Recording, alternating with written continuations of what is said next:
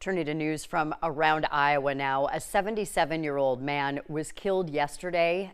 Uh, it happened in a crash in Clay County. The Iowa State Patrol says Roland Taylor was thrown from his tractor after being hit from behind by a pickup truck. Authorities say the 68 year old driver of the pickup was not hurt. The crash remains under investigation. No word right now on any charges.